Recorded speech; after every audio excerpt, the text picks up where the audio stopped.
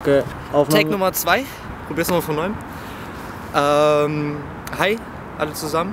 Da Luke ja die Frage mit dem Dash nicht so richtig beantworten konnte oder wollte, wie auch immer, versuche ich das jetzt so ein wenig. Und Jakob hat ja schon in den Kommentaren gesagt, dass es wirklich nie schlecht ist, sein Bewegungsrepertoire zu erweitern. Das heißt, mit allem rumspielen, alles ausprobieren und sich nicht auf irgendwelche Bewegungen beschränken, sondern sich einfach nur bewegen. Im wahrsten Sinne des Wortes. Einfach natürliche Bewegung holen, alles ausprobieren und im Grunde ist es nichts Schlechtes, es ist alles gutes Training. Und dazu gehört halt auch der Dash. Ähm, wie ich den Leuten den Dash versuche, ein wenig nahe zu bringen, ist es, erstmal über die Mauer drüber zu springen und mit den Händen nach hinten die Mauer zu fühlen eventuell. Dass ihr ein Gefühl dafür bekommt, wo ihr euch befindet und wo sich die Mauer befindet. Dass ihr eventuell immer mehr äh, runtergehen könnt, immer weniger springen, um euch irgendwann dann auch mit den Händen abzustützen. Also sich langsam an die Sache rantasten.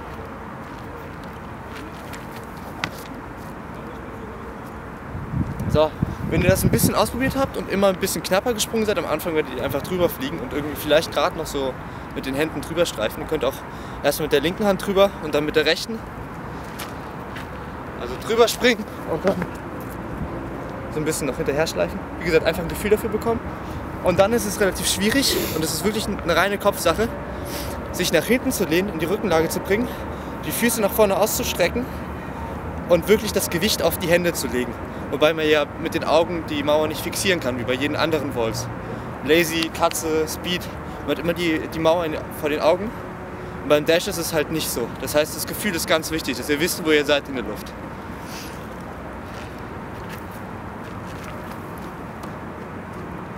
Es ist eigentlich relativ ungefährlich, weil selbst wenn ihr Armrutschen würdet, ihr würdet irgendwie dann reinfallen und euch mit der Achsel oder so abfangen. Es kann eigentlich nicht viel passieren, außer dass ihr, wenn ihr jetzt wirklich total tollpatschig mit beiden Händen abrutscht und dann. Aber selbst dann, wie gesagt, fallen ist wichtig und fallt auch mal hin, ist nicht schlimm. Ähm, jetzt gibt es natürlich ganz viele Variationen. Ihr könnt das Ganze mit dem Lazy kombinieren und äh, die Hände leicht versetzt aufsetzen. Sieht dann so aus. Auch in beide Richtungen. Auch im ersten mit dem inneren, mit dem äußeren Bein kicken. Ganz viele Variationen. Dann gibt es den schönen Cash. Kombination aus einer Katze und dem Dash. Macht halt auch wahnsinnig viel Spaß, mir zumindest. Und äh, zum Beispiel ganz gut, wenn man über Geländer springen will.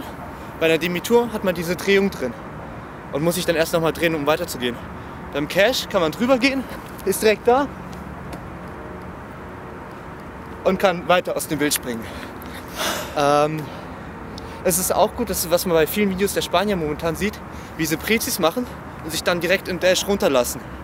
Auch eine wahnsinnig gute Sache, weil er halt äh, kontrolliert runtergeht, ohne zu droppen. Heißt,